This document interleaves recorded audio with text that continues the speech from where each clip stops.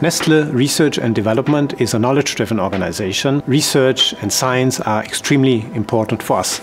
And this is why we maintain university partnerships and collaborations around the globe.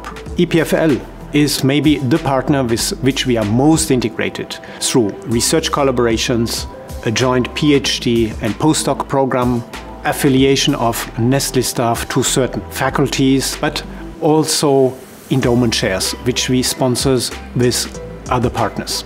I'd like to give you a few examples of research collaborations. The first one is around brain health. So we are very much interested in understanding how polyphenols, which occur in coffee and cocoa, interact with the human body to maintain cognitive performance and brain health. The other example is related to the astringency perception that some consumers notice when they consume plant-based beverages. This astringency perception is an interaction between certain plant proteins and other molecules in the plant-based beverage and human saliva. The third example I want to give you is about packaging materials. We work strongly with EPFL on improving paper, making it more resistant against humidity and against oxygen.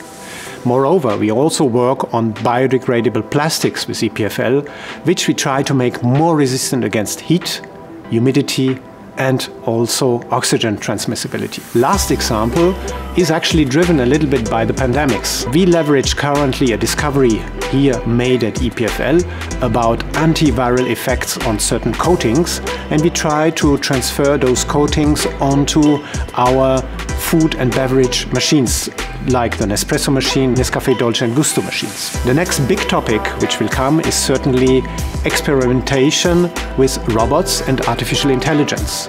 We believe that we can improve our product formulations and also our processes by using robots together with smart algorithms.